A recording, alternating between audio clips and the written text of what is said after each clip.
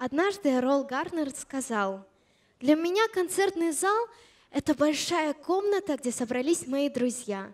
Так и у нас очень дружная, теплая атмосфера, где собрались друзья.